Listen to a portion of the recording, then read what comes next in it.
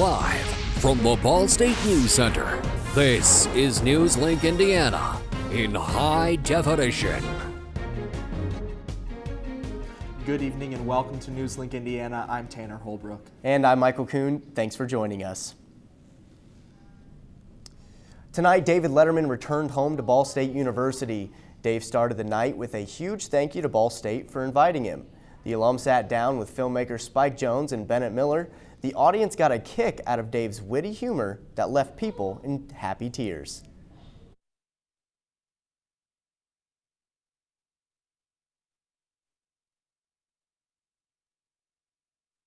And now, ladies and gentlemen, to begin the show, please extend a wonderful welcome home to our favorite son, David Letterman.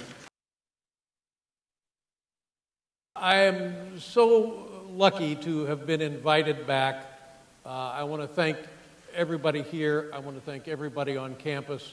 And I want to thank the people who run uh, this university. It's, it's an honor to be lucky enough to maintain this association. So thank you very much. I appreciate it.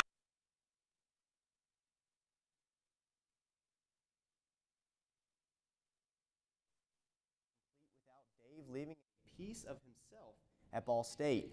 The former television host announced that his late night set and memorabilia will be donated to the university. The Star Press says the set will be featured in the Letterman building on campus. Millions of Americans are taking to the internet to get a little bit of shopping done today. Cyber Mondays bring deals from all sorts of retailers. Amazon is putting out a new deal every five minutes and expects today to be its most profitable ever. Bridget Shanahan reports.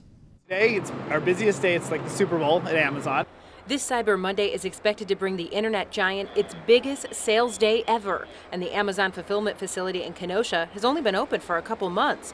But the employees here have extra help from robots. So they help our employees be more efficient, and they let them walk less, and they actually bring the products to them. So they bring the products to them, and then they drop in the box and ship them out to customers around the world. This place is huge. It's about the size of 28 football fields, and there's 11 miles of conveyor belts just like this. All these yellow bins are getting sorted right now based on how the items will be packaged. The National Retail Federation predicts 121 million people will go shopping today looking for those Cyber Monday deals. Oh, yeah, definitely. Um, I know there are a lot of movies and things like that on Best Buy that like my boyfriend or my other friends want, so that's an easy thing to go look for quick.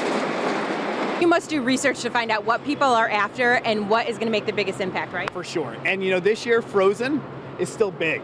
So you can get a Frozen hoodie. It's, it's on sale today. You can also, you know, Star Wars. Star Wars, and I got another movie coming out. It's on sale. This for Baca yeah. is on sale 50% off. But not everyone is online looking for those special prices. I didn't even go Black Friday shopping. I'm not really into the crowds, and um, I've heard on Cyber Monday, you know, sales go really fast. So I just, I don't know, too much rushing. Yeah, it sounds like those are some pretty good deals. You know, what might not be a good deal is the weather coming up, and I hear that there's some rain in the forecast. Yeah, I mean, we, we did have some nice weather over Thanksgiving, but sounds like that might not stay. Nathan, yeah, so today temperatures started off on the cool side, and we're going to talk about them in a minute. But then we warmed up to a high today of 48 degrees. So definitely two ends of the spectrum overall. But looking at morning lows all across the state of Indiana this morning, 36 degrees in Indianapolis, 38 degrees in Terre Haute, 34 degrees to start the day here in Muncie. Once again, highs all across the state of Indiana warmed up to, well, 50 degrees and just a tad bit below 46 degrees in Kokomo, 47 degrees in Lafayette today, and 48 degrees here in Muncie. Looking at the current temperature outside, 46 degrees with those winds out of the east at 9 miles per hour. Our feel like temperature at the top of the hour, 41 degrees, and it's due to that easterly wind that's letting us cool down just on the, on the low end. However, still cloudy at this time. 10 p.m. tonight, 46 degrees with again those east-southeast winds out of the out of the east from 8 to 10 miles per hour overnight tonight. By 1 a.m., 45 degrees, and even by 4 a.m., still 45 degrees. Overnight low tonight, 44 degrees, and that's what we're forecasting tomorrow morning at 8 a.m. The kiddos will need a jacket in the morning if you are uh, putting them out at the bus stop, and also if you're headed out to class. By 3 p.m., however, we will warm up to 48 degrees, but skies will be cloudy. Coming up, my full forecast forecast. We're going to talk about more about that precipitation chance and when it returns, when the sunny skies are going to return back to the forecast just in time for your weekend, and then what are those average temperatures as we begin the month of December tomorrow. All right, Nathan, thank you. The man suspected of killing three people at a Colorado Planned Parenthood made his first appearance in court earlier today. Currently, his true motives are still unknown. As Andrew Spencer reports, the man's neighbors seem to know very little about him. There's not much to look at or do out here. In a rural community of Colorado, Robert Dear's handful of neighbors had few interactions with him. When they first moved in, they were real, you know, like I said, they kept to themselves. They didn't bother anybody. Nobody bothered them. Really nice guy, you know, was talking to us and everything. Gave us uh, some anti-Obama uh, flyers, little pamphlets, and I didn't even really read them. I just I think I used them to start the fire in our campfire that night. A law enforcement official says Dear expressed anti abortion and anti government views to investigators, but says Dear's motives aren't entirely clear.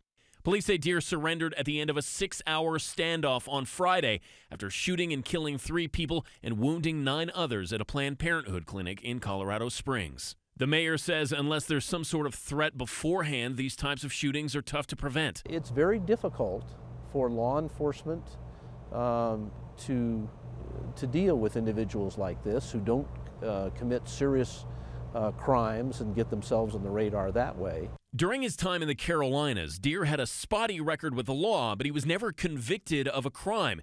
His wife accused him of domestic assault in 1997 but didn't press charges. In 2002, counts of being a peeping Tom were dismissed.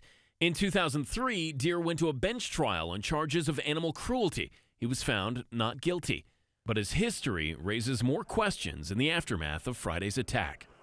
I'm Andrew Spencer reporting. The University of Chicago was closed today after a 21-year-old student threatened to kill students and staff. Jabari Dean posted the threat on social media over Thanksgiving break. The apparent motive behind the threat was to avenge the death of Laquan McDonald. McDonald was shot 16 times by a police officer, and Dean threatened to shoot 16 white male students and or staff. Dean was arrested without incident. He was expected to, to appear in court earlier today. All right, find out when we return going how Going Green can help relieve stress at Ball State. And a Ball State student has qualified for one of the biggest marathons in the country. This and more when Newslink Indiana returns. So, I just moved in with this family, and it's embarrassing the little one, he likes to go outside and crawl around in the giant litter box. I don't know what he's doing. I mean, I was born and I knew how to use the litter box. Look at that. That's disgusting. Oh, poop already. You're making me nervous. Oh, okay, I can't look at this anymore. I really hope he grows out of this, for his sake. Welcome back to Newslink, Indiana. Charles Mad Dog Whittington, a Portland man who was convicted of a double homicide earlier this month, received a maximum 170-year prison sentence today. A Blackford Circuit Court jury found Whittington guilty of two counts of murder in, in the February 5th killing of Shane Williamson and his teenage daughter. Today, Judge Dean Young, who imposed the maximum sentence, called Whittington a monster and went on to say to Whittington, quote, know this, I would execute you back if I could. Whittington has 30 days to appeal his convictions. Ball State has many hidden gems that students don't know about. One could argue that the Ball State Rinard Orchid Greenhouse is one. Located on the edge of campus, the greenhouse is open Monday through Saturday, offering the community more than just flowers. Anyone can come at any time. They offer tours, meditation, and a place to escape the hustle of everyday life. It's a great place to come when you know, you're stressed or you're cold in the winter or you know you feel overwhelmed, you can come here and look at the plants and flowers or uh, the, do your homework, write a paper, listen to music, and really do anything here. Recommend that if, if it's brown and gray and cloudy outside, come on in here and, and experience your tropical paradise. And you can come any time of the year, but it really has a, a wider contrast in the winter so the people who discover this place keep coming back. For more information about the greenhouse, you can visit its website or theballstatedaily.com. Ball State students will now be able to get around campus for more hours during the winter months. The Blue Loop bus on campus, which previously ran until 4.20 in the afternoon, will now run until 9.30 at night, Monday through Thursday. The bus route will continue to run through 4.20 on Fridays until spring break. The extended hours come in part as a result of the current Student Government Association's platform. Ball State student Devon Geiger recently qualified to run in the 2017 Boston Marathon. Geiger qualified for the oldest race in the United States in a recent race in Indianapolis by running a time of 3 hours, 1 minute, and 16 seconds, just 4 seconds under the men's qualifying time for 18 to 24 year old men. Geiger says that it brings honor to be able to run for something that is bigger than yourself. It's going to be really touching to cross that historic finish line. Very exciting for him, I'm sure. Coming up, find out if, you're, if you'll need an umbrella for the coming days. Newslink Indiana weather is next.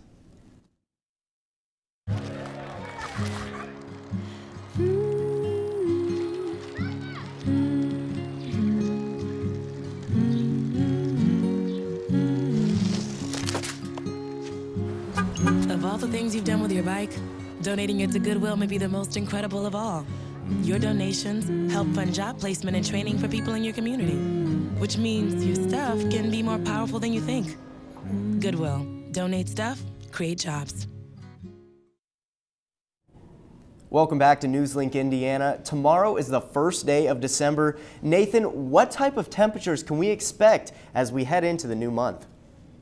Well, actually, temperatures here in the state of Indiana are going to be a little bit above average for this time of year as we plow into the first week of December as we come. But first, I want to start here with the last 12 hours of radar loop showing a strong low pressure system that's dumping snowfall all across the Midwest. And this is exactly what we won't be seeing here in Indiana exactly right away, but something to keep in mind. Closer back to home, we are seeing that overall cloudy skies throughout the whole state of Indiana and then a few scattered rain showers in the northwestern part of the state as we talk right now. Current temperatures all across the state 46 degrees here in Muncie, 46 degrees in Indianapolis, 47 in places like Terre Haute right now. So overall, pretty decent. However, we do have some breezy conditions and some wind gusts uh, associated out there still, and that's making the temperature here in Muncie feel like 41 degrees, 41 degrees in Indianapolis, and even Lafayette. Just a little bit on the cool side, so you definitely need to grab the jacket if you're headed out this evening.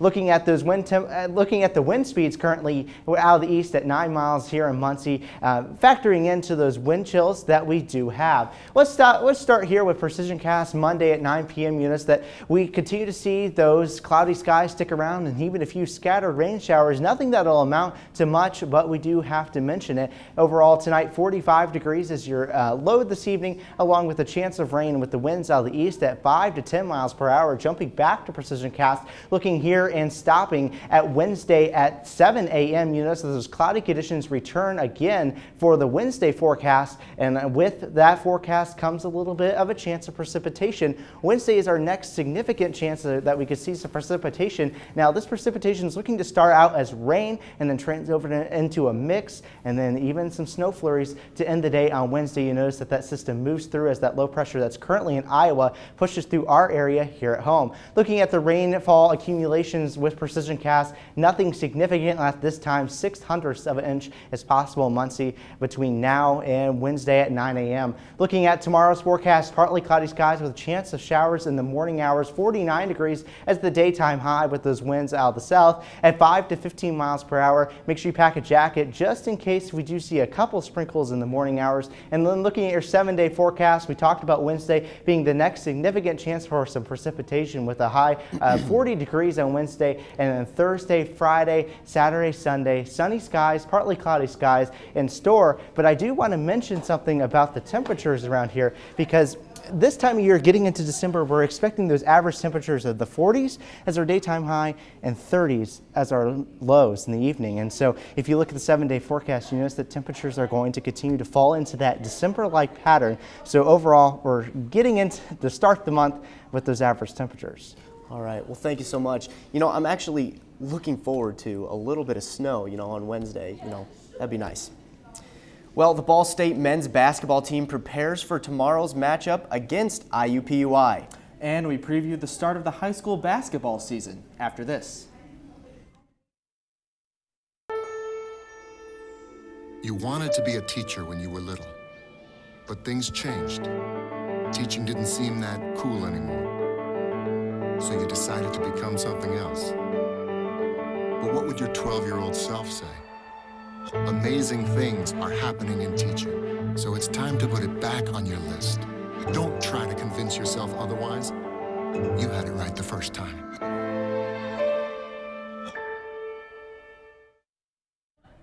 Welcome back to Newslink Indiana. I'm Josh Shelton with sports. To start things off, the Ball State men's basketball team has been firing on all cylinders the last four games. They have outscored their opponents 309 to 247 those four games. But the real reason for the Cardinals' recent success is finding the middle ground between offense and defense. Newslink Indiana caught up with Coach James Whitford for his thoughts on the upcoming game against IUPUI. We're pretty similar. If you look at our Ken Pomeroy numbers, we're, I mean, we're, I think we're four points higher on offense than we are on defense, and um, so I think we're pretty balanced. You know, I, I, I do think uh, if you're going to be great at one, I think it's more important to be great at defense, and I think I, I, it's really important to me that we lock in. And I know we have a lot more in the tank on that area, and we have to keep getting better. And I think this team really challenges us. I think they're hard to play against, and I think it's going to be they set a million different pick and rolls, and their big guys are very skilled. So when they use a pick and roll, it's not like you just can say, hey, if, as long as I stop the guard, we're good. It's not the case. I mean, they throw back to their bigs, and they can really hurt you. Mm-hmm. So, um, so it's a challenge. It's been a challenge for everybody that's played against them, and it's going to be a challenge for us. The 5 and 2 Cardinals will play tomorrow at 7 in Worthen Arena. The high school basketball season is upon us here in Delaware County, and there are some big games to start off the season. In a matchup of the Tigers, Yorktown takes on the 1 and 1 Alexandria Tigers in Alexandria. The Yorktown Tigers are coming off a 72-49 blowout loss to Muncie Central. They will look to turn it around tomorrow night. The Delta Eagles will host Winchester in their home opener as both teams will be playing their first games of the season and will look to start their seasons off with a win.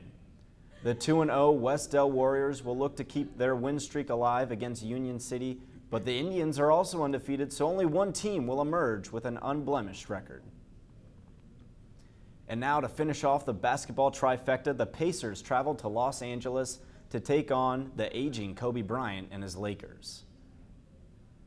Kobe greets some players who sport their Hoosier jerseys for the night the Lakers start things off in the first quarter down one. Here's Kobe, passes it, and he will airball a three. He goes gonna walk back and try to laugh it off. Down on the other end, Monta Ellis drives down the lane and flicks a pass to Paul George, who finishes it with a big layup. In the second quarter, there's a shot from George Hill. It clanks off the rim. It's rebounded by Randle, who pass is stolen by George, who takes his time and drains a three-pointer to put the Pacers up 67 to 46.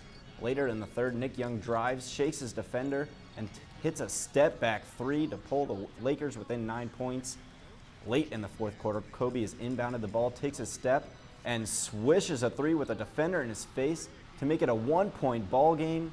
The Lakers now down three. Kobe again gets it, gets the ball and throws it up and airballs it. Kobe not happy with his performance as the Pacers go on to win it 107 to 103. After the game, Kobe announced that this would be his last year in the NBA. The 11 and 5 Pacers will stay in Los Angeles to take on the Clippers on Wednesday. It should be a good game as the Clippers have won their last two and the Pacers continue to put tallies up in the win column. Yeah, you know, it's really great to see uh, Cardinals men's basketball doing well again. Thanks, yeah. Josh. Uh, when we come back, Adele continues to dominate the music charts. And if you want that Beyonce look, don't worry, you may get your chance. Find out how when we return with your Newslink Entertainment.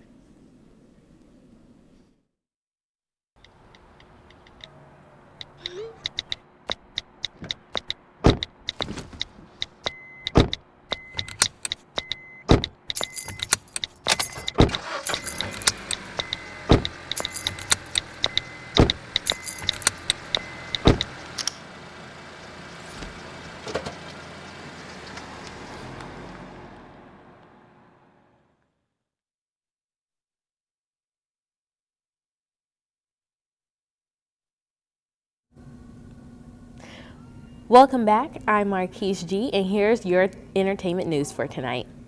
For all you Adele fans out there, you all know Adele's new album 25 is undoubtedly a miraculous album taking over Billboard's top 100, dominating all records back to NSYNC and Britney Spears' Oops, I Did It Again. Here's a few facts on the third studio album by Adele released this past November. 3.38 million copies have been sold to date. 25 sold more albums in one week than Taylor Swift's 1989 sold in one year. Despite this being the age of music downloading, 1.71 million physical copies were sold upon the album's release. And finally, there are rumors that Adele's release of 25 is what's holding back Rihanna's release of her new album, Anti. No matter the stats and facts, we are all glad to have Adele back and hope she remains in this creative light and brings more of her musical talent to the table. Mark your calendars for April 2016. Beyonce is joining in partnership with Topshop Athletics for new fashion-inspired fitness line. This line has been in the works since October 2014, but no additional details have been released at this time as to what the line will consist of and any of the styles that will be featured. However, if this line is expected to be as big as B's career itself, then shoppers will be lined up for blocks come April. That's all for tonight. Back to you at the desk. Thanks, Marquise. Let's have a final look at weather with Nathan. Yeah, so tomorrow is going to look like it's going to be pretty decent overall. It'll be one of our warmer days in our seven day forecast. Tomorrow's high 49 degrees. We'll have those rainy chances in the morning and then uh, ending up to be a cloudy day. And then for the daytime on Wednesday, we are tracking those cloudy conditions to move back in the area with the daytime high of 40 degrees. However, we are tracking that chance of seeing some rain showers turning into some sleet and then even into some snow flurries late on Wednesday night. And then Thursday, Friday, Saturday, and Sunday. Partly cloudy skies and sunny skies return to the area, yet the temperatures are going to remain pretty much average for this time of year, where we'll see highs on Thursday at around 40, and then on Thursday, mm, excuse me, on Friday, 43 degrees is our daytime high. So overall, a decent forecast in store for people here in Muncie, and if you're out and about on campus, that's for sure. Yeah, absolutely. The the sun in the forecast is what I'm excited for. You know, it's been so cloudy recently. It seems like, you know, and it, with these winter months, you know, it's it's cold and it's dreary and cloudy. Uh, you know, what, what might be causing some of that?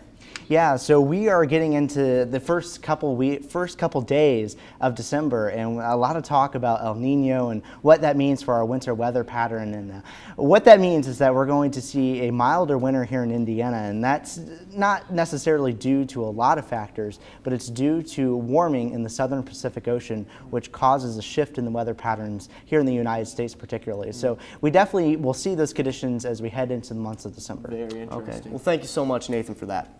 Well, that's all for tonight for Newslink Indiana. Be sure to watch tomorrow night at 9 p.m. right here on Cardinal Vision. And be sure to like us on Facebook and follow us on Twitter. Have a good night.